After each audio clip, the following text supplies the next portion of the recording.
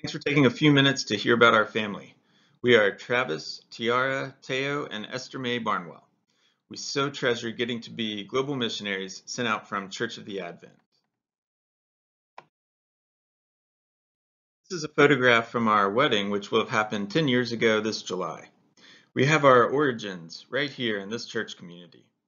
In this photo, you'll probably recognize Tommy, Hillary, Riley, Peter, and my brother Matt Barnwell, who each played an important role at our wedding. The support of the Advent community has been essential to our marriage and lives. This picture was taken in a behind-the-scenes pre-staging room not long before the wedding ceremony itself.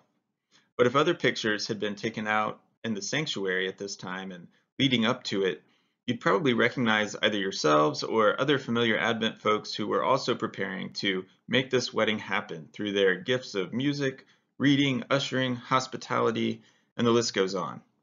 I'll circle back to this photo in a minute, but I just can't say enough about how deeply grateful we've long been to Church of the Advent as we've leaned into this church family over the years for discipleship, friendship, and a great deal of support during different seasons of life.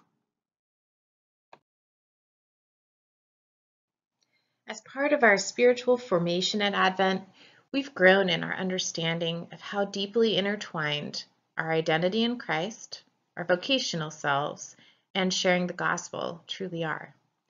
Travis and I are both social workers with most of our experience coming in cross-cultural contexts where we've supported the provision of services to vulnerable immigrants. We've mostly done this through programmatic guidance and staff development. With family roots in Indonesia on my mom's side, Travis and I have long wondered about and prayed for God to open a door for us to pursue our vocation in Southeast Asia. From 2019 to early 2020, we got to explore this calling while living in Cambodia, where Travis supported the International Justice Missions office there, and afterwards was hired by another Cambodian anti-trafficking NGO to oversee programs. And then just before we returned to the US with the outbreak of COVID, we were introduced to a global sending organization that places Christ followers as working professionals in parts of the world that have very little proximity to or familiarity with Christians. These and many other signposts throughout our lives have led us to discern our calling as global missionaries. Our sending organization, whose name I can't share in this online presentation for security reasons, will be placing us in Southeast Asia with a local ministry that seeks to further Christ's kingdom and deliberately care for vulnerable people. This will be a long-term arrangement, and we will spend most of our first year learning to speak the local language. We will be part of a missional team composed of various professionals who are from different countries and church denominations. I'm sure this will have some challenges, but we're very much looking forward to benefiting from the spiritual deepening that can come from being in close community with this kind of international and interdenominational team.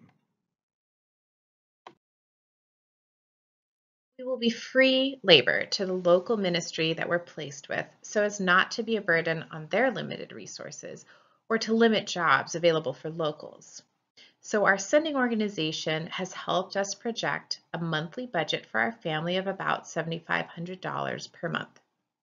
We'd like you to consider supporting our work and lives in Southeast Asia very practically through financial support. All donations are made through our organization and are tax deductible. This covers certain expenses such as our health insurance and pays us a living allowance that sustains our family and enables us to offer our professional skills at no cost. We're hoping to have all our financial support committed by June of this year, in time for us to depart in September. We're almost 40% of the way there right now, thanks to the generosity of Advent and a number of individuals and families in our congregation. To turn your attention back to this photo, I'd like to point out that our wedding happened much like our service in Southeast Asia will happen, or engaging in world missions happens. It's because this staging room and the sanctuary beyond it are full and active. Everyone has hands to do work that the Lord will bless. At the end of the day, for Church of the Advent, we will all have a stake in Christ's kingdom advancing in Southeast Asia and the well-being of vulnerable families there. And at the end of time, when the bridegroom returns to claim his bride the church, we will all have brothers and sisters from other walks of life to appreciate and enjoy, and we'll all share a lived story of how we got to help prepare the global feast together.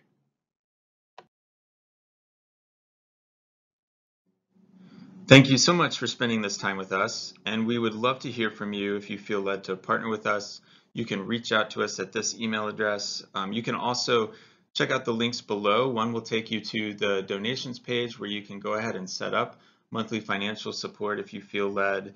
And the other links will take you to short videos with more about us, the journey we're on, and our sending organization. May God bless you.